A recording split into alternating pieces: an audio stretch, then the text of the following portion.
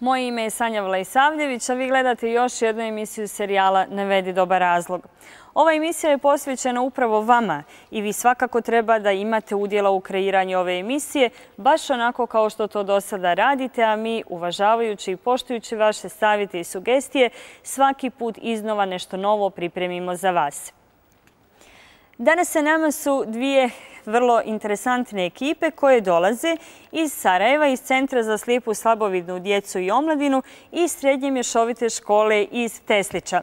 Afirmacijska ekipa je u sastavu Sadina Ćatić, Arnesa Jusić i Sandra Jašarević. Veliki aplauz za afirmaciju. I negacijska ekipa, Srednja mješovita škola Teslić u sastavu Tatjana Pelemiš, Sonja Milivojević i jedini muški debatant u ovoj debati Ljubiša Tešić i aplauz za negaciju. Naši današnji gosti su gospođa Renate Radić, novinarka Centra za istraživačko novinarstvo. Dobrodošli, hvala. I gospodin Hasan Đinić, načelnik kantonalne veterinarske inspekcije e, Sarajevo, je li tako? Hvala što ste došli. Aplauz za naše goste.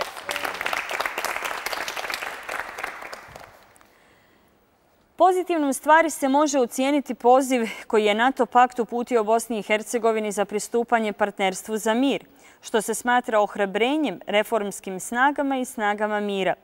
Bosna i Hercegovina je tokom protekle godine vodila pregovore o stabilizaciji i pridruživanju sa Evropskom unijom, ali je zbog sporosti u reformama Evropska unija odgodila do daljnjeg potpisivanje sporazuma. Glavnu poteškoću predstavlja nemogućnost postizanja dogovora o reformi policije, na čemu insistira Evropska unija, a što nailazi na otpor jednog dijela političkih struktura u Bosni i Hercegovini. I vi pretpostavljate, imajući u vidu ovaj uvod, da je ovo uvod za naš kviz koji se odnosi na partnerstvo za mir, koji uspjevamo realizirati zahvaljujući pomoći ambasade Sjedinjenih američkih država u Bosni i Hercegovini. Ono što me zanima je jeste da li su naše ekipe odredile kapitene za ove kvizove. Afirmacija, ko je vaš predstavnik? A3 ja. A3 ja, dobro.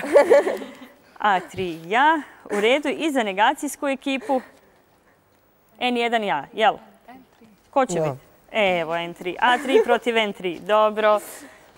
Jeste li spremni za kviz? Ja, jesam. Dobro. Ja ću zamoliti naše dvije stalne saradnice, ekspertice Centra za kulturu dijaloga, Lejlu Lilić i Lanu Ačkar, da mi malo pomognu za početak u ovom prvom dijelu oko regularnosti prozivanja takmičara.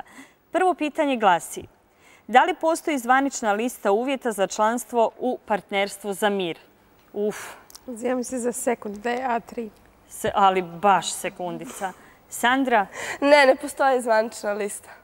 Zato što svaka država e, treba da ima različit program, različite uvjete. Uvjete koje mora da ispošti. Mhm. Sad ćemo zajedno provjeriti da li je odgovor tačan. Da li postoji zvančna lista uvjeta za članstvo?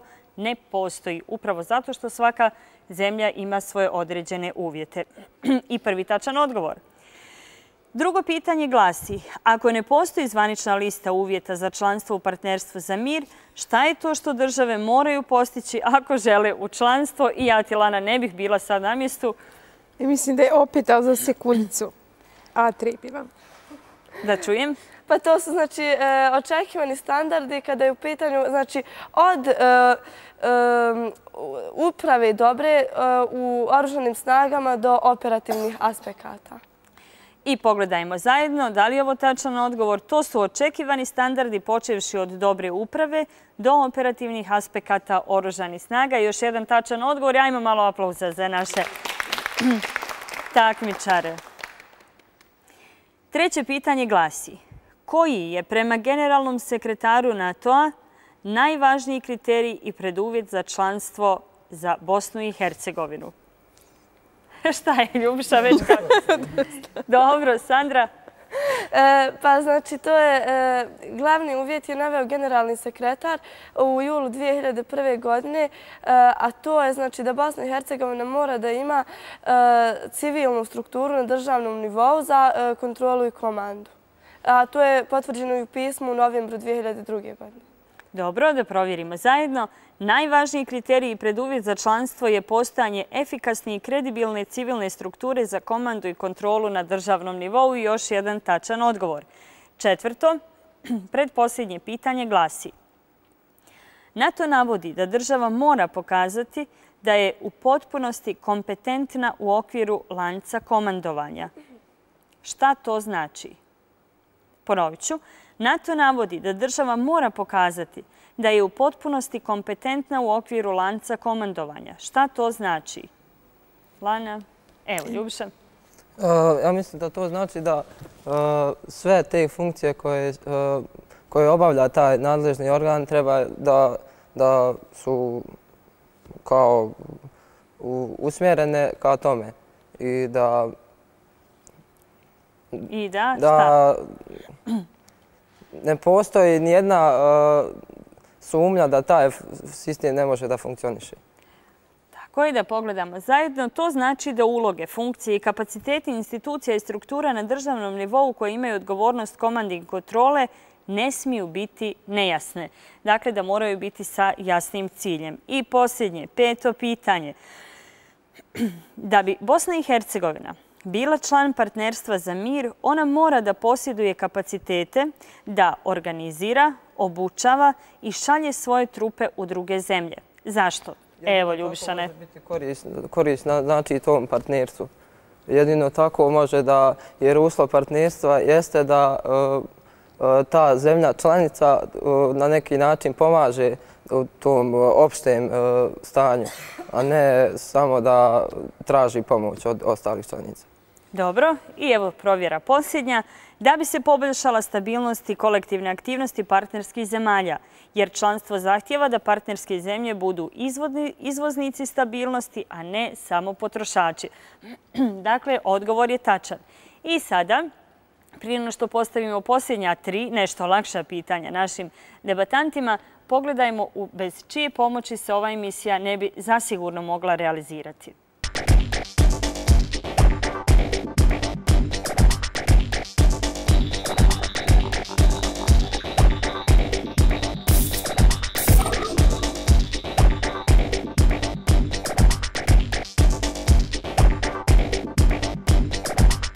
I evo polako se približavamo i temi naše današnje emisije. Sandra, svojim riječima pojasni nam i približi pojam nadležne institucije. Pa nadležne institucije su one institucije koje treba da reaguju znači, e, kada su u pitanju neke znači, problemi, e, kao što je sad e, sa ovim travanjem hrane. E, I nadležne institucije su one koje trebaju da odrađuju neke, znači, da donose važne odluke u nekim oblastima. Zavisi za šta su nadležni. U svakom slučaju, nadležne institucije su te ustane koje se bave kontrolom i nadziranjem. Kontrolom i nadziranjem. Dobro. Drugo pitanje. Kratak govor, ali sasvim ličan, na temu da li su nadležne institucije odgovorne za trovanje građana hranom. Pa evo, ovaj, znači ja mislim da jesu odgovorne e, zato što e, prije svega one ugrožavaju ljudsko pravo na život jer postoje znači neke e, bolesti e, koje se znači trovanjem hrane dobivaju e, i prouzrokuju smrt. Mogu da prouzrokuju smrt ukoliko se ne reaguju na vrijeme. Ljubiša? E, mislim da nadležne institucije nisu odgovorne za to, za to snosi odgovornost sam pojedinac kao individual. Dobro, i konačno za kraj, koji je moto afirmacijske ekipe? E, naš moto su riječi e, gospodina Zorana Brkića, koji je uposlenik DGS-a i koji je izbijeljni. On kaže, e, Bosna i Hercegovina je postala evropska kanta za smeće, jer se u nju uvozi hrana sumnjivog kvaliteta. Dobro. Negacija? Ja mislim, moto naše ekipe jeste taj moto možda ide u prilog našim poljoprivrednicima koji uh, veoma uh, možda veoma imaju loše uslove za razvoj. Uh, moto jeste pazimo šta jedimo, jedimo domaće i zdravo. Budimo sretni zbog toga. Hvala lijepo i aplauz za takmičare. Evo uvidom u evidenciju o tačnosti ponuđenih odgovora moglo bi se reći da je e, tri tačna odgovora dala treća članica afirmacijske ekipe, a N3 je imao dva malo zbog sporosti u javljanju i upravo evo to će biti razlog što ćemo uručiti knjige najbolje knjižare u Sarajevu, knjižare Bajbuk, upravo debatantici koja je osvojila pobjedu u ovom prvom kvizu. Evo ja sam tu, Sandra, čestitam, iskrene čestitke. I naravno, mi sada polako se približavamo i samoj temi emisije. Možda ste čak i mogli naslutiti o čemu će danas biti debata. Sendviči iz pizzerije Pomodorino izazvali su najmasovnije trovanje u posjeratnim godinama u Bosni i Hercegovini. Zvanično su potvrdili prvi ljudi kliničkog centra Univerziteta u Sarajevu prenosi dnevni list oslobođenje 12.5.2007. godine. U tri dana se u primnu ambulantu klinike za infektivne bolesti obratilo 548 pacijenata, od kojih je 179 hospitalizirano. Umeđu vremenu za slučaj trovanja hranom zainteresiralo se i tužiteljstvo kantona Sarajevo, a sanitarna inspekcija kantona Sarajevo je tragala za uzročnicima velikog trovanja. Ali ja bih rekla da ovakvih slučajeva ima još mnogo. Evo odmah i nakon ovog slučaja e, pojavili su se novi primjeri novog trovanja hranom, ali evo možda je malo poznato da još jedan slučaj je e, na sudskom procesu. Riječ je o restoranu La Familia ili Impuls i evo već pune tri godine slučaj nije riješen. Ko je odgovoran za trovanje građana hranom? Dakle, kao što primjećujete, tema današnje emisije glasi da li su nadležne institucije odgovorne za trovanje građana hranom, ako ne oni, onda ko je drugi odgovoran. Mislim da bi bio red da prije no što damo riječ debatantima, da pitamo naše goste. Kakav je vaš stav? Ako je iko pozvan, onda ste vi pozvani da odgovorite na ovo pitanje ko, kako i na koji način je odgovoran za trovanje građana hranom. Evo možda da damo e, gospodinu inspektoru, odnosno načelniku, jel, riječ? Pa vidite, e, malo čas su e, vaši debatanti dali ovaj, donekle različite odgovore i ja bih upravo rekao da je e, istina negdje na sredini između toga. Naime, e, e, kao i u svim drugim sferama, tako i u ovoj oblasti imamo državu u tranziciji koja i gradi i ruši istovremeno određene standarde, određene norme, i određene kriterije. Jedni su, rekao bih, srušeni, a drugi novi nisu još uvijek izgrađeni. Tako bih e, e, rekao da država u suštini i nema izgrađene institucije, bez obzira što ih formalno ima. Naime, ove inspekcije koje e, formalno djeluju, one su nasljeđe prethodnog sistema i nisu kao takve izgrađene prilagođene i uskođene e, sistemima vrijednosti kojima mi težimo. To su sistemi vrijednosti Evropske ekonomske zajednice. Dobro, ali recite mi, evo recimo konkretno uz vašu struku, ako je veliki broj otrovanih građana e, jedući meso janjetinu, zato bi direktno odgovoran trebao biti onaj koji daje dozvolu za prodaju i puštanju promet takvog mesa. Da li to ima veze sa standardima, da li to ima veze sa zemljom u tranziciji ili ipak sa odgovornošću onih koji to rade? Pa vidite, e, odgovornost e, onih koji rade uvijek postoji. Naravno, onih e, koji neposredno obavljaju tu djelatnost, a to su uglavnom ugostiteljski radnici. Međutim, šta se tu dešava?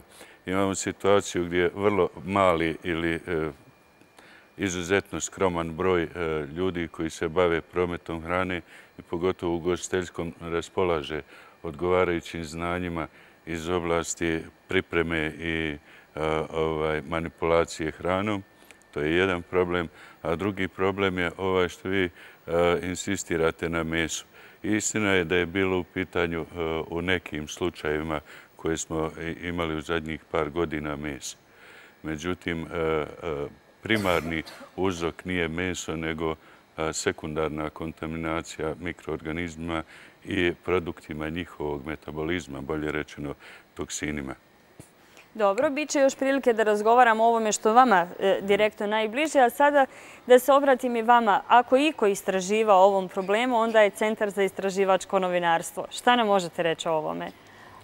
Pa, kao što ste rekli, centar je istraživao onaj područje hrane proteklu cijelu polovinu prošle godine i onaj zakon kaže da je pojedinac koji stavlja u promet hranu, inspektora ispravite ako griješim, odgovoran da je taj proizvod siguran za upotrebu, ali su nadležne institucije te koje to trebaju i nadgledati i ako treba sankcionirati. Jer ako bi se u prvom mahu sankcioniralo jednog vlasnika ugostiteljskog objekta koji možda ne zna, niti time rukovati, ali u opasnost dovede pojedince koji konzumiraju tu hranu, zato trebaju odgovarati. Također, nadležne institucije su te koje mogu donositi pravila, e, primjenjivati ta pravila, pojačati ako treba nadzor. U svakom slučaju mislim da je odgovornost na nadležnim institucijama velika. Hvala lijepo. Bili su ovo uvodne riječi naših gostiju, a sada dajemo riječ afirmacijskoj ekipi. Ja sam prva članca afirmacijske ekipe i zalažem se za tezu da su nadležne institucije odgovorne za trovanje građana hranom. To su u prvom redu veterinarska i sanitarna inspekcija. Naš argument je sama njihova uloga i postojanje. Naše vlasti su kao i uvijek sebi osigurale opravdanje za haotično stanje, jer prema istraživanjima koje smo mi vršili, Bosna i Hercegovina nema zakona o e, izhrani, dok ostale evropske zemlje e, njihovih 50% zakona odnosi se samo na ishranu. Također, odgovornim smatramo i centre za socijalni rad koji su u funkciji opštinske, državne i tako dalje vlasti, koji bi trebali spriječiti e, traženje i kopanje hrane po kontejnerima. Pored toga što se građani nezdravo hrane, Sarajlije piju vodu iz azbestnih cijevi koji su duge 190 km. Upotreba tih azbesta je zabranjena od strane Evropske unije i Sjedinjenih američkih država. E, sjetimo se da je Slovenija prilikom svog ulaska u Evropsku uniju morala prekopati cijelu državu radi izmjene tih cijevi. Ne treba zaboraviti i to da postojeće inspekcije nemaju odgovarajući stručni kadar da bi kvalitetno mogle obavljati svoj posao. E, mi smo u našoj školi proveli i anketu u kojoj je učestvovalo 50 ispitanika. Prvo pitanje je glasilo da li su nadležne institucije odgovorne za trovanje e, građana hranom. Svi su odgovorili da. E, drugo pitanje je glasilo da li idete u kupovinu sa strahom da ćete ugroziti svoje zdravlje. 35 je odgovorilo da, 8 ne i 7 ostalo. E, možda bi naši građani i mogli prevazići strah da imaju dovoljno novca, e, da kupe kvalitetnu organsku hranu koju smo mogli e, prije nekoliko dana na tržištu kupiti, znači prodavala je e, nevladna organizacija Ekon. Međutim, ta organska hrana je mnogo skuplja od hrane koja je prskana pesticidima i vještačkim džubrivom. Bosna i Hercegovina nema rješeno pitanje sistemskog kontrolisanja bolesnih životinja, niti ima rješeno pitanje finansiranja kad je u pitanju kontrola tih životinja. E, gospodin Nihad Fejzić, e, zamjenik direktora Ureda za veterinarstvo Bosne i Hercegovine, je rekao e, znači, da bismo uskoro u Bosni i Hercegovini mogli imati biološku bombu. E, jer znači oni samo gase vatru tamo gdje se bolest pojavi, a uopšte ne preveniraju bolest, e, što bi trebao da bude njihov osnovni zadatak. E, a ne treba zaboraviti ni to da je Bosna i Hercegovina 2000. godine dobila negativnu ocjenu za proizvodnju E, e, namirnica životinskog porijekla. E, I ono što je doista absurdno, Bosna i Hercegovina nema pravilnika o proizvodnji i kvalitetu žita i brašna, već koristi predatni pravilnik. A 2005. godine su udruženje proizvođača znači žita i brašna je dalo prijedlog da se usvoji zakon da se usvoji pravilnik o kvalitetu žita i brašna, međutim taj pravilnik nije usvojen. Hvala lijepo. Bila je ovo uvodna riječ za afirmaciju i nagradimo afirmacijsku ekipu velikim aplauzom. A na sve ovo negacijska ekipa će reći E, ja ću na početku naglasiti e, da ovo što ću sada iznijeti je samo dijelimično e, moj lični stav. Kao član negacijske ekipe zalažem se za tezu da nadležne institucije nisu odgovorne za trovanje građana hranom. Svaki čovjek odlučuje o količini unošenja hrane i načinu njenog kombinovanja. E, građani e, kupuju okom, e, to jest biraju izgledom ljepšu hranu ovaj, koja je često manje zdrava. Također, poznato je da su neki sastojci bombona i žvaka koje svakodnevno koristimo kancerogeni, ali ako ih uzimamo u prevelikim količinama. Znači, oni su gotovo bezopasni ako uzimamo u malim količinama. E, zatim, s obzirom da smo siromašno društvo, većina građana kada kupuje proizvode ne čita njihov sastav, e, već e, gleda cijenu. E, znači, cijena je presudna, uzima jeftinije prehrambene proizvode. I za čuvanje hrane mi smo sami odgovorni, jer mi možemo kupiti kontrolisanu hranu koja je potpuno ispravna i znači zadovoljava sve kriterije zdrave hrane. Ali ukoliko je mi E, kod kuće e, čuvamo na neodgovarajućim e, mjestima, na neodgovarajućoj temperaturi ili neodgovarajućoj ambalaži, može doći do trovanja našeg organizma. Sve veći je postotak građana koji se ugledaju na inostrane kuhinje, na primjer talijansku, kinesku i tako dalje, ali znamo da mi nismo navikli na takav način ishrane i naš organizam se teško prilagođava, pa i zbog toga može nastupiti razna oboljenja ili trovanja organizma. Lijepo. Mm, poznato je da se koristi hrana koja ima dobar, market, e, dobar marketing, a kvalitet hrane ne zavisi od toga. Međutim, mi možemo da jedemo e, u, najvećim, u velikim količinama i najkvalitetniju hranu, naravno da će doći do trovanja. Što pokazuje da smo mi za to odgovorni. Mi e, odlučujemo koliku količinu hrane ćemo da unesemo u naš organizam. Institucije su odgovorne za promet hrane na tržište. One daju lošijeg kvaliteta hranu, jeftiniju hranu i kvalitetniju hranu, to jeste skuplju hranu. Tako da mi odlučujemo šta ćemo da uzmemo.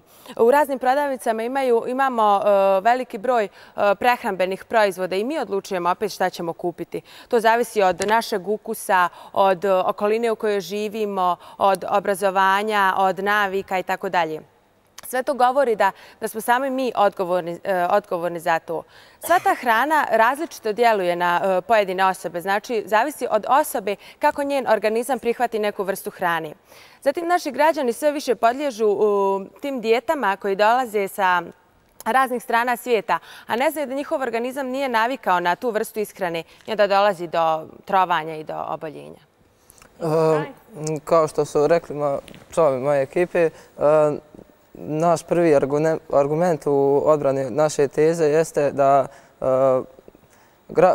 građani su ti koji su sami odgovorni za e, količinu unošene hrane i način na koji tu hranu kombinuju. E, prema nekim zakonima kombinovanja hrane, mi hranu koja sadrži, koja je bogata bjelančevinama, trebamo da uzimamo odvojeno od hrane koja je koja u sebi sadrži ugljene hidrate, kao na primjer e, meso, žitarice, e, pasulj, e, voće, nebitno. Možda je to karakteristično za neke, opet kažemo, strane kuhinje, ali mi nismo to podnevlje. Također, takvi problemi mogu da nastanu pri neobaviještenosti u nekim ruralnim predjelima ili pri nemarnosti. Često e, postoje naš život e, veoma brz e, u gradu, dosta vremena se provodi van kuće, znači nemamo dovoljno vremena da stignemo sve obaveze. Dolazi do znači, tih situacija kada nam hrana teže teže čuvamo, teže Eh, znači trebamo da sve stignemo u određenom roku. Eh, do do trovanja također dolazi kada eh, jedemo prekomjerno, jer u tim situacijama, naročno kod osoba koje su sa, sa viškom kilograma ili koji imaju problema sa povišenim krvnim pritiskom, mogu da nastanu problemi. Hvala lijepo. I bila je ovo uvodna riječ za negaciju i molim aplauz za negaciju. A ako ste, barem neki od vas, dragi gledalci, pomislili da ću se ja sada moralno opredijeliti za afirmacijsku ili negacijsku ekipu, griješite ono što ću učiniti jeste jedino podsjećanje na stavove uvodnih riječi koje smo čuli od afirmacijske ekipe koja je rekla da je veterinarska, odnosno sanitarna inspekcija direktno odgovorna za sve, dalje da oni imaju opravdanje u haotičnom stanju u zemlji, da se svugdje vani, dakle u Evropi, 50% zakona odnose na ishranu, dalje da Sarajlije piju vodu iz azbestnih cijevi, a da je to bio jedan od uslova za Sloveniju da bude primljena u Evropsku uniju, dalje da nemaju e, dovoljno odgovarajući stručan kadar za sprovođenje svojih aktivnosti, da nema sistemske kontrole bolesti životinja, kao i da je 2000. godine Bosna i Hercegovina dobila negativnu ocjenu za proizvode, e, dakle za namirnice životinjskog porijekla. Negacijska ekipa je na to odgovorila da svaki čovjek individualno odlučuje o količini unošenja hrane, ali i kvalitetu hrane. Dalje, da ljudi često kupuju okom, a ne stomakom ili novčanikom. Dalje, s obzirom da smo siromašni, gledamo cijenu, a ne kvalitet. Zatim da se e, način na koji se upotrebljava kontrolisana hrana da često nije odgovarajući i također da se koristi hrana koja ima marketing, a ne kvalitet. I još jednom potvrda od trećeg člana jeste bila da građani su baš sami odgovorni za količinu i kombiniranje hrane. I evo, prvo se Leila javila za komentara, zatim prva članica afirmacijske ekipe, jer upravo sad počinje i prava rasprava. E, evo ja imam zapravo i komentar i pitanje za negacijsku ekipu, može odgovoriti ko hoće. Znači, e, vi čitavo vrijeme pojentu stavljate na odgovornosti čovjeka za ono što kupuje, što jede, koliko unosi i šta unosi. Šta je sa slučajevima kada jedemo u restoranima koji imaju i dozvolu nadležnih inspekcija i različit meni, evo recimo Pomodorino je bio poznat po izvrsnim sendvičima koji nisu bili tako jeftini, koji su bili i uredni i sve, mislim, zadovoljavale sve vaše kriterije. Šta je s tim? Pa, pa može se desiti e, da e, upravo sam to izložila, da naš organizam ne prihvata e, tu hranu, ne znam, ako je e, riječ o nekoj drugoj kuhinji ili e, da smo alergični na neku vrstu hrane. Dobro, ali da sada ne banaliziramo odgovor. Ako je riječ upravo o hrani koja se uobičajeno jede i na koju smo već na neki način navikli, od jedan put se dogodi 600 otrovanih ljudi. Šta u tom slučaju? Možemo li pozvati u pomoć evo prvu članicu afirmacijske ekipe koja se javljala? Ja bih htjela samo da se osvrnem na izlaganje treće, činim se, članice negacijske ekipe e, koja je tvrdila da je za e, trovanje hrane odgovoran sam čovjek. Istina, mi jesmo odgovorni donikle. E, ja jesam odgovorna za to da odaberem sebi gdje, recimo, u koju pizzeriju ću ja ili čevapžincu otići da pojedem čevape ili šta već drugo, ali nisam odgovorna za to, njihovi higijenski uvjeti i kvalitet hrane ne ovise o meni.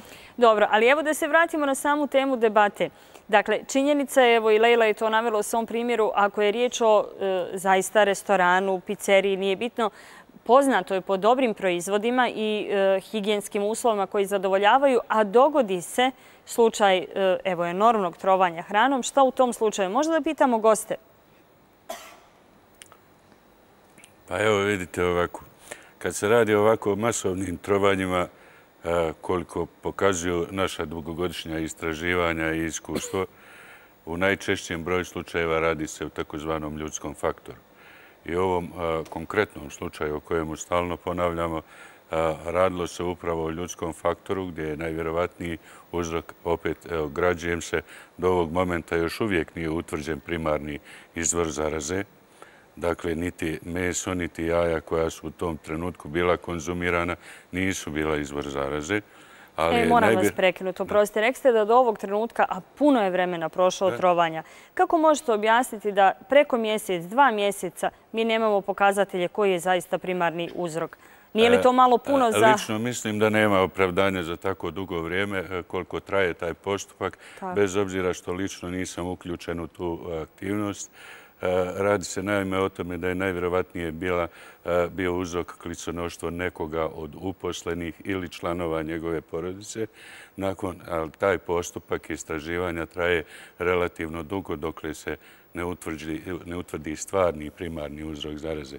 Dakle, radi se o ljudskom faktoru u svakom slučaju, a i u jednom i u drugom slučaju radilo se o kontrolisanim namirnicama koje su bile zdravstveno ispravne, koje su stavljene kao takve zdravstveno ispravne u promet. Radi se, naime, e, ja bih e, u ovom trenutku samo da podsjetim na jednu činjenicu, a to je da e, ova država e, posjeduje zakon o sigurnosti hrane. Prema tom zakonu e, svi proizvođači e, i organizacije koje se bave prometom podliježu takozvanom sistemu samokontrole. Dobro, ali sjetite se da prije nekoliko godina je bila velika afera sa uvoznom govedinom, ako se ne varam, kada je bila panika među ljudima zbog kravljeg ludila. Kako objašnjavate stav da se u stvari od očiju javnosti, odnosno građana, krilo da jedu meso koje ni na koji način ne bi smjeli jesti? A cijena je bila privlačna. E, bez obzira što sam direktno uključen u taj posao, ja još uvijek ne znam ko je to i kada uvezao u ovu državu, a najmanje u ovaj grad, meso porijeklom od goveda koja su bila ocijenjena kao e, e, oboljela od takozvanog kravljeg ludla. Dakle, niti ne znam da ga je i bilo uopšte. To je jedno. Drugo pitanje, u ovoj državi još niko nikada nije konstatirao, niti od naših, niti od inostranih institucija, niko nije konstatirao ni jedan jedini slučaj kravljeg ludla. Prema tome, e, previše se priča o nekim stvarima koje ljudi i znaju i ne znaju, ali iz pomodarstva se ponekad pišu stvari koje stvaraju paniku u narodu. Dobro, ali tu ste vi da to negirate snagom argumenta. Nisam sigurna da smo u medijima mogli čuti dovoljno jakih, potkrijepljenih jezikom debate govoreći argumenta koji kažu da sve ovo o čemu se pisalo eksplicitno nije tačno. Ali evo da vidimo da li je tačan navod afirmacijske ekipe da je 2000. godine Bosna i Hercegovina dobila negativnu ocjenu za proizvode, odnosno namirnice jedinice životinskog porijekla? Koliko je meni poznato, prije dvije godine tačno bila je u posjeti ovdje generalna inspekcija i činjenica je da smo dobili generalno negativnu ocjenu. Kako to pravdate? Ne pravdam je ja nikako, nisam ni nadležan, niti da je pravda... Ne, ali evo kako biste kao građanin koji može kupiti to meso reagirali? Evo da čujete sad ovaj frapantan podatak. Pa vidite, mi, e, rekao sam, još uvijek nemamo izgrađene standarde. One standarde koje smo imali prije rata e, smo srušili. Jednostavno smo ih srušili i iz raznih razloga ih ne priznajemo, mada dakle, stručni organi rade još uvijek po njima. Čekajte, sad ste me prepali. Sad hoćete reći da bez ikakvih standarda se sve ovo... Ne, nisam rekao bez standarda da radimo, nego sam rekao da ih ne priznajemo mi ih ne priznajemo ni kao društvo, a vrlo često ni institucije ih ne priznaju. A mi kao stručni organi koji radimo te poslove, radimo po tim standardima i tim normama. Evo, Lejla je nešto željela reći. Za gosta pitanje, e, rekli ste da smo srušili standarde i da nove još uvijek nemamo. Ko gradi nove standarde? Ko je odgovoran za njih? Pa vidite, e, e, ja nisam nadležan da odgovaram na politička pitanja, ali ću vam reći oni ljudi koji su nadležni da donose propise u ovoj državi eh, su imali evo od rata do danas 12 godina, a još uvijek nam nisu eh, donijeli takve akte. Vi ste pomenuli i Državni ured za veterinarstvo. Istina je, postoji i Državni ured za veterinarstvo. Međutim, ljudi koji tamo rade ne nude nam nikakve nove norme i standarde, nego mi još uvijek moramo raditi po onima starim koje imamo. Evo, ja ću vam napomenuti da recimo ja imam jedan pravilnik iz 49. godine po kojemu radim. Istovremeno ću napomenuti još jednu stvar norme i standardi koje smo mi imali prije rata, pogotovo one koje se odnose na kontrolu hrane, higijensku ispravnost i kvalitet, bili su i ostali na vrlo visokoj ljestvici, čak bi eh, se usudio reći vrlo blizu evropskim normama i standardima, možda u nekim sferama čak i bolji. Međutim, eh, A zašto su ako su bili tako kvalitetni? Još uvijek nisu na kvalitetan način nostrificirani. Pa ne nostrificira inspekcija e, propise. Ne, ne, ne. Ako je riječ o standardima koji su bili vrhunskog kvaliteta, zašto onda smo odbacili tu vrstu standarda? Vjerovatno zato što neki ljudi misle da svijet počinje s njima. Dobro. Renata, Šta biste vi na ovo sve rekli? Vi imate baš puno iskustva u ovome. Što se tiče zakona, ali on su svi naznačeni bivša Jugoslavija, a Jugoslavija više ne postoji, onda je vrlo teško primijeniti kad dođete, ja sad odgovaram ono što je vaš posao, kad dođete negdje gdje trebate kontrolirati, onaj kaže ti nemaš dokumenta po osnovu koji to trebaš kontrolirati, a inspektor ima te stare. Druga stvar što se tiče, e, vi ste spomenuli uvoz, Mi smo obišli recimo graničnu inspekciju u kojem smo vidjeli da granična inspekcija nema um, nema resursa za kontrolu recimo namirnica, pa onda se sve to svede, otvori se hladnjača i zatvori se. Selma, neko mora staviti na stepenicama. Gdje je Jasmin?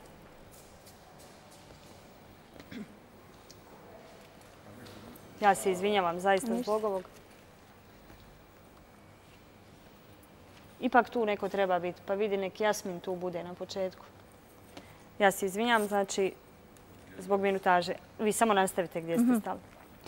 Mi smo bili na graničnim prijelazima i razgovarali smo sa graničnim inspektorima. Granični inspektori nemaju resurse da na adekvatan način kontroliraju namirnice i vrlo često ulaze namirnice nedovoljno kontrolirane. Sve se sve da otvori se hladnjača pomiriše se, da li to ima nekakav čudan miris, evo inspektore vidite, možete bolje reći, imaju nekakve lupe, nemaju mogućnost slanja namirnica sa granice na kontrolu. Druga stvar, razgovarali smo i sa graničnim... Čekajte, znači granični službenik može zaraziti hranu. Recimo, ako je prehlađeno, otvorio hladnjaču da je pomiriše, on može biti prvi kliconoša. Pa, u doslovnom smislu, ako je tačno ovo što vi govorite, onda je granični službenik odgovoran. Može li na taj način? Ja zaista ne znam. Pa evo, ako je kliconoša neko u ovom restoranu, vjerovatno o kojem je riječ, da li od uposlenika ili članova porodice, analogija ide i prema graničnom službeniku, da je možda i on sam kliconoša ili... Teoretski bi bilo moguće i to. Međutim, Renata je pomenula nešto što se odnosi na propise bivše e, države u kojoj smo živjeli, a danas primjenjujemo njihove propise. Naime, radi se o tome da je 1992. godine tadašnje ratno predsjedništvo formalno ovaj, nostrificiralo propise, ali kažem samo formalno. Međutim, kad vi donesete, recimo, jedan propis na kojem piše SFRJ, bez obzira što je on odgovarajućim aktom nostrificiran kao takav, ali na njemu ne piše Bosna i Hercegovina, nego piše SFRJ, samim time je on degradiran. S druge strane, e, e, sankcije iz tih e, propisa su odavno već prevaziđene zbog njihovih, zbog izražavanja u određenim novčanim valutama koje se ne primjenjuju. Lani, Lana, pa je nijedan? Pa ne znam, meni se čini sad razgovor čitavo o zakonima, jesu li stari, nisu, oni takvi kakvi jesu, jesu vi drugih nemate i e, zakon koji se tiče oblasti vašeg grada nije jedini koji još uvijek na snazi, a koji je iz perioda SFRJ. Tako da mislim da to baš nije neki jak izgovor, da se, jer drugih nemamo. Znači, to jedino, to što se službeno mijenja SFRJ, zamijeni sa BiH, to, to je najmanji problem da vi kad čitate, brišete SFRJ i automatski sami sebi ubacite BiH. Pa jeste, to je tako, jer znam na kraj krajeva i Lela će potvrditi da se nama dešavalo isto tog studija da imate zakone koji jesu stari, jer su novi, bože moj, bili u procesu neke analize ili donošenje, tako da smo masu zakona čitali upravo iz iz te epohe jugoslavenske. Međutim, mene interesuje još jedna stvar, mimo dakle služenja ovaj, hrane u restoranima i ne znam nija. Meni se lično desilo sam par puta kupla ovaj, neke proizvode koji prodavcama stoje, nisu snižene cijene i kad dođem kući vidim da je, ovaj, da je datum dakle, rok upotrebe prošao. Za dan, dva nije bitno, ali znači da ako piše da je do 6. jula, tipa on je 6. jula trebao nestati sa polica, jer, a da ne spomnim to da nikad nemaju snižene ili ne znam nija, da, da vi vidite jedan znak da bi taj proizvod mogao biti pokvaren. Šta se dešava tada? Evo, Renata, pa uh, N1, Je li imate neki pa, komentar na ovo? Samo bi dodala da se i meni desilo, recimo da sam došla u sprint i tražim jogurt i jogurt je iste kao um, rok upotrebe kao jučer. Ja kažem pa iste koje je rok upotrebe, kaže jel to znači da ga nećete kupiti? Takav sam odgovor dobila. Ali to što se tiče zakona, mislim, to je sad to znači da ga niste kupili? Da. E, Dobro, N1, evo sam... Da upadnem, jeste li bilo koja od vas dvije izvršile svoju građansku obavezu da prijavite nekom od kontrolnih organa to što ste našli u prodavnici? Moja kolekcija prijavljivala jedan slučaj sanitarnoj inspekciji kantonalno. Nikad nije dobila nikakav odgovor. A kamo da je nešto poduzeto po tom pitanju? Mhm. Evo da vidimo N1 pa 3. Pa A2, pardon, pardon. Ja sam htjela e, da kažem da su upravo, e, mi cijelo vrijeme to i govorimo, e, građani velikim dijelom, ako ne skroz, odgovorni. Jer, na primjer, i u ovim slučajevima, kada ste vi uzeli te proizvode kojima je rok istekao, ovaj, niste pogledali, znači, rok. Mislim da je to... U redu, u redu, ali dosta su građani. Moglo se desiti da ste vi popili pa da ste dobili trovanje i ne znam, e, neke komplikacije, ali... Neko ko tamo radi je bio daleko odgovorniji od mene koja samo dođem tu i kupujem. Neko dobija platu svoju da provjerava da li su proizvodi u redu. Moja dužnost nije, jest, ako, ako me baš živo interesuje. Ali nije moja prva stvar bila da to uradi. Neko se plaća da bi to uradio. A dva? Sa, e, naveli ste e, vezano za ove kupovinu jogurta i toga svega. Ja mislim da e, kupac nije odgovoran za, za istek roka trajanja znači, tog jogurta. Odgovorne su naravno inspekcije koje se tako često obavljaju pa se nalaze ti proizvodi kojima je istekao rok. Dobro. A tri? Pa ja imam pitanje za e, negacijsku ekipu. E, da li građani donose zakone i da li građani stoje na granici kad se uvozi hrana? Onako, wow, evo, došlo nam je super.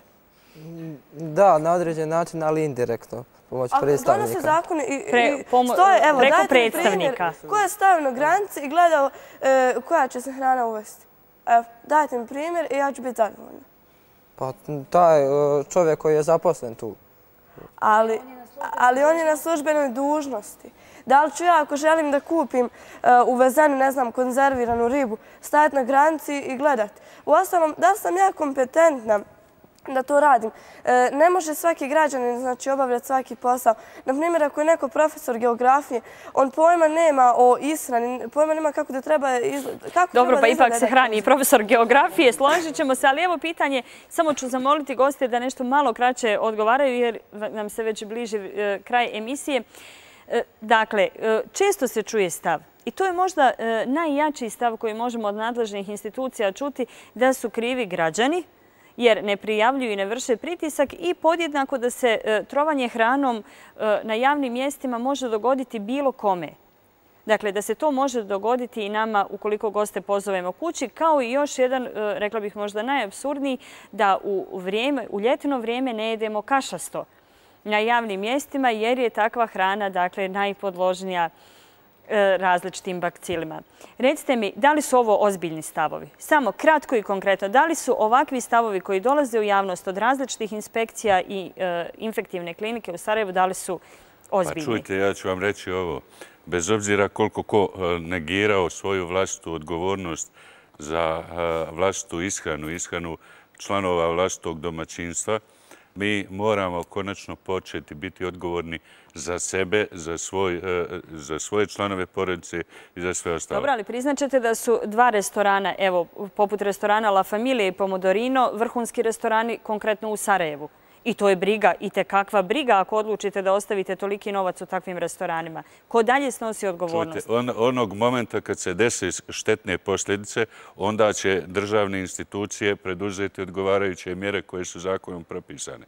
Međutim, ne postoji ni jedna država na svijetu koja može e, obezbijediti toliki broj kontrolnih e, e, radnika u kontrolnim organima da bi e, dnevno kontrolisali rokove upotrebe u nekim prodajnim objektima ili higijensko-sanitarne uvjete u Evo, povjerovat ću vam da dakle, država će momentalno preduzeti korake koji jel, idu u skladu s tim, ali da li vam stoji kao opravdanje da jedan sudski proces konkretno zatrovanje velikog broja ljudi traje tri godine. Evo, kao građanin, kako biste se osjećali? To su pitanja pravosuđa, ja se ne bih u to miješao. Ne, evo kao građanin. Lično ne opravdavam, ali e, e, to je stvar pravosuđa i ja nisam nadležan za to. Mene zaista brine, ali što kaže gospodin Đinić, ko je nadležan da kontrolira pravosuđe, jel koliko nešto dugo traje. Mene zaista brine, ako ja dobijem trovanje, ako prijavim, šta onda? Ništa. Hoće li se ište pokrenuti ili neće? Evo, gospodin Đinić može reći da li se kontrolira, recimo, proizvodnja ćevapa u ćevapnicama. A koliko ljudi konzumira na baš čaši, recimo, ćevapa? Koliko često se vrši kontrola? Evo da damo riječ A1. Pa N1. Ja bih samo postavila jedno pitanje. Ako može mi odgovoriti bilo ko. Prema istraživanjima i prilikom pripremanja za ovu tezu, e, temu, mi smo našli podatak da je kontrola brašna zadnji put izvršena 2004. godine u kome su pronađeni mikrotoksini za koje se uspostavilo da su kancerogeni. Zar je zato mogao biti odgovoran jedan pojedinac kao građanin? Istina, svi mi moramo nešto da jedimo, ali zar to nije bila dužnost sanitarne inspekcije da često vrši kontrolu? Evo, samo ćemo dati mogućnost da i ne da nam gosti odgovore. Da li je ovdje odgovoran pojedinac ili sanitarna inspekcija? Sistemska kontrola je nešto drugo koja se obavlja u proizvodnom tehnološkom lancu. To je nešto drugo, a ovo o čemu stalno govorimo o kontroli u prometu, to je nešto sasvim drugo. Dobro, evo, konkretno djevojka je pitala i dugujemo odgovor. Da li je riječ ovdje o nadležnim institucijama ili je građanin pojedinac odgovoran za ovo? Pa ne može građanin biti odgovoran za kontrolu procesu Dakle, nadležne institucije, hoćemo reći. Renata? Hvala. Ja definitivno stojim i zatvrnjem da su nadležne institucije odgovorne za kontrolu hrane koja je u prometu. N1? E, smatram da e, građanima je potrebna edukacija, pošto e, ne znaju o kombinovanju hrane, dosta toga ne znaju o odabiru uopšte hrane. I, na primjer, Najčešći ručak kod nas je krompir i meso, ali ovaj, po savjetima nutricionista to je jedna bomba u organizmu, energetska bomba. Znači, to uopšte ne bi smjeli unositi. Ovaj, znači, Dobro, onda u tom smislu još manje bi nam to restorani i javne, javni ugostiteljski objekti smjeli nuditi. Pa jeste to, ali opet mi treba to da znamo, da gdje god odemo to ne naručujemo, da ni kući ne jedemo. Dosta toga treba da naučimo. Dobro, Lejla Patri, ovo konstantno prebacivanje odgovornosti na građanina, odnosno da smo sami odgovorni za sve što unosimo u svoje tijelo. Onog trenutka, ja lično, a smatram većina građana, kada uđe u određeni restoran, fast food ili čevabđenicu, smatra da ulazi na sigurno mjesto koje ima odobrenje i sanitarne, i veterinarske, i ostalih nadležnih državnih službi. Znači, ako ste registrovani, ako ste dobili dozvolu da se bavite tom djelatnošću, znači usluživanja hranom, onda ja hoću da znam. Ja smatram da država stoji iza toga. Evo samo N3 želi da odgovori na ovo pa A3. Ne, sam sam ja htio nešto... Evo onda ćemo prvo dati riječ A3 pa N3. Pa evo prije svega e, mislim da će se negacijska ekipa složiti sa mnom da svako ima pravo na život, jel tako? A e, nepravilnom ispranom mi možemo ugroziti svoj život. Prema tome nadležne institucije su zato odgovorne. E, I vi kažete, znači, građan je odgovoran za hranu koju uzma, ali vi gdje god da se okrenete, gdje god da se okrenete, hrana nije zdrava i nema dozvolu za, znači, ne bi trebala biti upotrebljena. Objekti nemaju znači, dozvolu za rad. Prema tome, građani moraju nešto da jedu, samim tim moraju i da žive i oni nisu odgovorni. Dobro, N3? E, većina e, od vas kažete da mi nemamo zakone, da na, naša država još nema te standarde koje treba da usvoji da bi taj sistem odgovarao. Međutim, sa druge strane, razvijene zemlje koje imaju tu kontrolu razvijenu i i kod njih postoji problem gojaznosti. Šta je po tom pitanju? Dobro, ali gojaznost nije trovanje. N1 je još htjela nešto reći i s time bismo zaključili današnju debatu. E, htjela sam postaviti pitanje e, za A3. Pa da li je sva hrana na tržištu toliko nezdrava kad kažete da čovjek mora nešto jesti, a da time što jedi narušava Na bosansko-hercegovom žvačkom tržištu jeste e, nezdrava, na evropskom ne, ali ne možemo mi ići u Veliku Britaniju da kupimo sebi namirnice za jedan mjesec za svoju kuću. Naravno, ne možemo. Svakako da ne možemo ići u Veliku Britaniju po namirnice, ali možemo, ono što sigurno možemo jeste pogledati bez čije pomoći ova emisija ne bi mogla biti realizirana.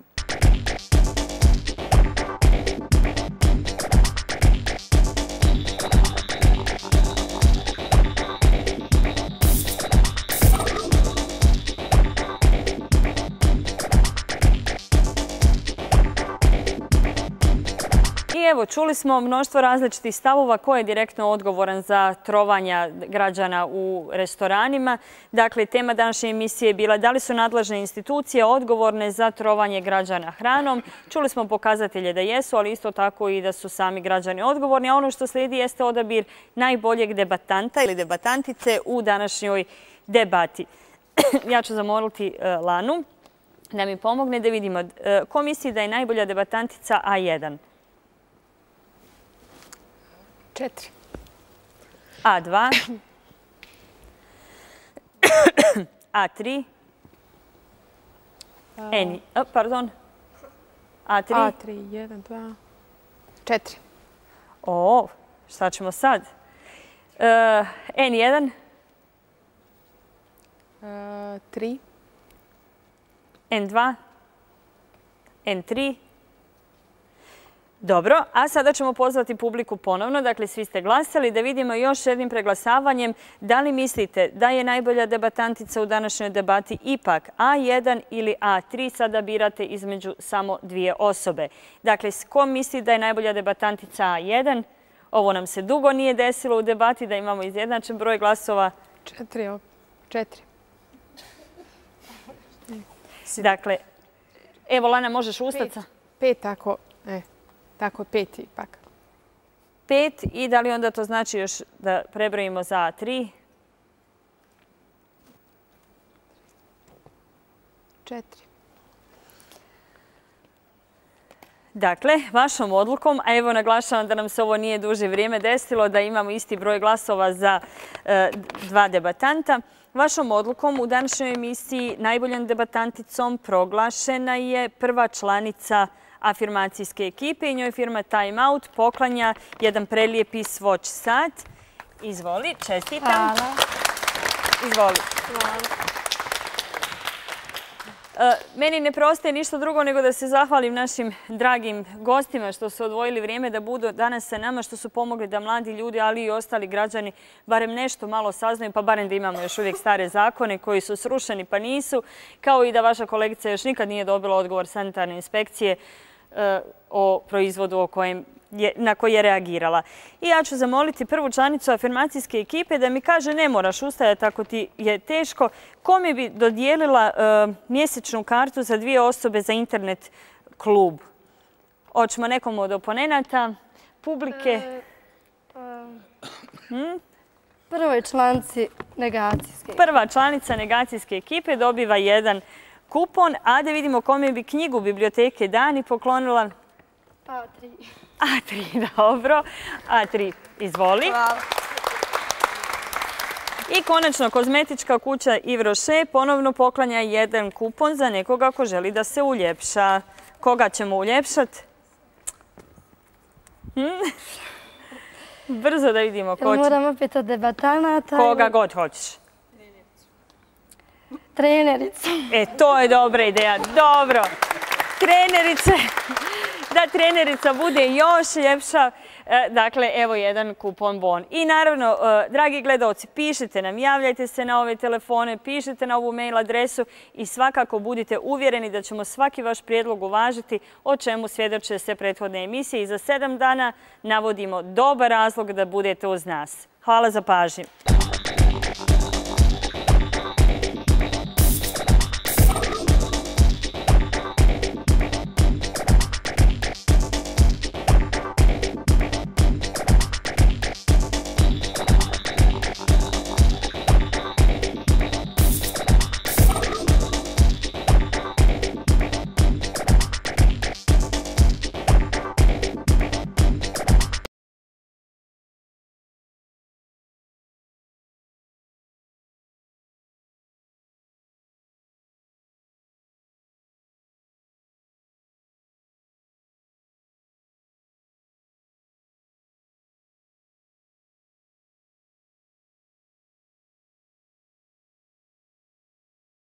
Pojedinih filozofskih i ideoloških pravaca. A eto ja ću nastaviti biti hraber, obzirom da sam i mlad, da e, samom sebi jel, objasnim i pronađem neke razlike i sličnosti ukoliko postoje između e, marksističke ideologije islama. I time možda, eto, ako ništa neću e, razjasniti, onda barem ću pridaniti nekom, možda ću nekako inspirirati na neka razmišljanja. Zapravo, kod nas nikada ni islamski, e, ni taj neki marksistički e, sistem nije zaživio onoj, na onaj način kako je to zamišljeno da je trebalo.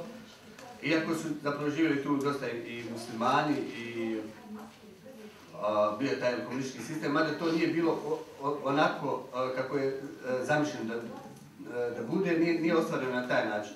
I druga stvar isto što ću odmah na početku da pomenem, ovdje, pošto je ovo otprilike moj neki prilog tom našem zajedničkom izlaganju, e, pa ćete primijeti da se suviše često koristi izraz možda islam, a po to možemo e, staviti i inače taj neku semijsku e, tradiciju, pošto judaizam i islam imaju skoro identične stavove po ovim pitanjima o kojima se ovdje govori. Naravno, to Bosnu ovdje uzmamo samo kao primjer, jer to naše neposredno okruženje uzmaju svakako obzir kako su obje navedene filozofije upravo slične po svojim globalnim i univerzalnim težnjama, kao svojevrsni uh, kuriozitet, to, to eto, možda isto da spomenem, jeste i događaj, odnosno slučaj da je kod nas ovdje prisutno bilo, a to se često i u medijima može čuti, da upravo iz uh, porodica koji su bile islamski e, najviše obrazovane, da su često izlazili uh, pristalice uh, marksističke ideje.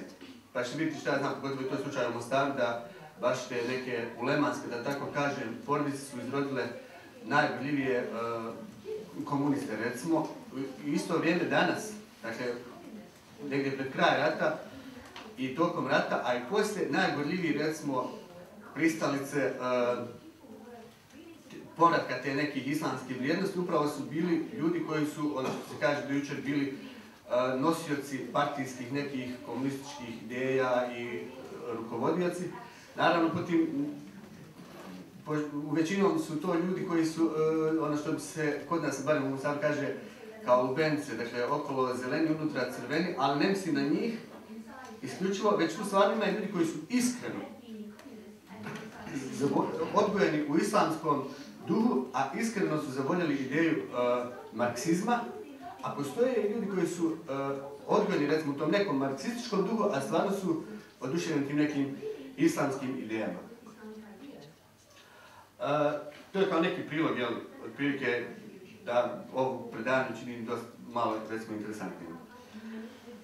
Ali da preskočimo ta već uh, uplitanja u prirodu upitnih ljudskih postupaka, uh, ja ću prijeći na ono e, što bi, evo, recimo, trebalo biti i neka suština ovoga.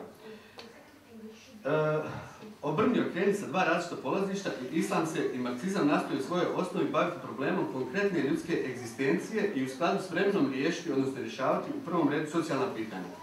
Međutim, njihovi su pristupi i sredstva bitno različiti. Dok islam svemu postavlja postojanje univerzalnog i neprikosnovenog autoriteta, to jest Boga, Dakle, dok islam uh, svemu pretpostavlja postojanje univerzalnog i neprikosnovenog autoriteta, to je Boga, marksizam taj autoritet ne poznaje. I šta negira postojanje bilo kakve druge realnosti, sem one opipljive, to je materijalne. Marks, uh, poznato je da, inače, ono što se najviše e, sada čuje, i da, to je jedna od parola koja se, kada se, recimo, ljudi koji su religiozni, uh, osvrću na tu neku marksističku ideju, to je da Marks e, stoji na tom stanovištu da je religija opium za narod. Razmatrajući samo ove polazične tačke, duhovne materijalno koje se u najvećem broju slučajeva direktno, a sa nama nepoznatih razloga se prostavljaju, je, e, javlja se kod nas pitanje zašto se stvari po svaku cijenu postavljaju na ovaj način. Diskutirajući o rečenom, napavno e, mi je pala mogućnost, to jest ideja, da su koliko god se trudile ove dvije stvari u praksi razdvojiti, a uzimajući obzir i vremenske i historijske kontekste, uh, potpuno različite i potpuno različite društvene, političke, ekonomske i konačno filozofske podloge na kojima se javlja jedna i druga ideja. Iz današnjice gledano, razmatrajući i uviđajući zajednička mjesta koja se iz perspektive islama i iz perspektive marksizma a napomenimo to je rješavanje socijalnog pitanja pojedina, e, pojedinca u praktičnom kontekstu života. E, dakle, zašto se ne bi mogle e, promatrati u svojim stremljenjima upravo kao vrlo slične? Pa, sad, ovako dok smo mi tražili šta bi nam moglo poslužiti kao neki dobar uvod u sav ovaj problem, našli smo na jednu e, knjižicu koja je napisana jako davno, a htjela je objasniti kao muslimanima šta je u stvari to marksizam, pa iako ovdje su ljudi naravno koji mnogo bolje od mene to poznaju, može recimo kao čovjek je baš želio da razjasni, on je u stvari želio da objasni muslimanima zašto oni ne bi smjeli da E, prihvate to kao svoju neku ideologiju, pa on kaže, inače zove se Buslađić Mustafa. Kao semijska religija, Islam pokazuje odnos čovjekov prema, čovječ, prema vječnom, univerzalnom, te, te kao takav odnosi se i na sve manifestacije čovjeko, čovjekove u zemnom životu. Islam teži da na zemlji stvori univerzalno bratstvo ljudi, izgradi potpuna čovjeka i osposobi ga za nadzemaljske, odnosno više ciljeve. Zato Islam u principu nema ništa protiv onog socijalizma koji se bori za jednu višu istinu i socijalnu pravdu koji ljudima nosi pomoć, a ne vlast, bratstvo, a ne klasno mržnju, čovjekoljublje,